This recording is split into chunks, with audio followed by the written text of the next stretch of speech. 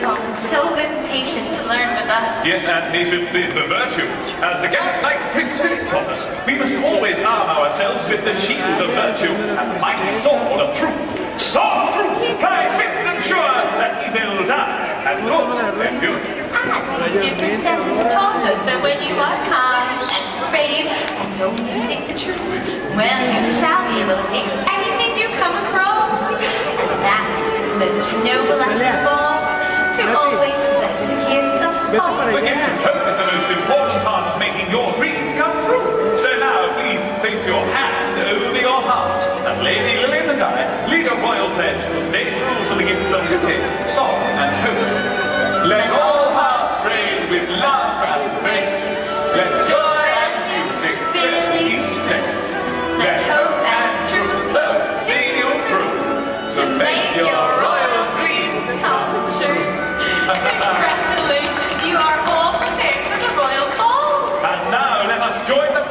que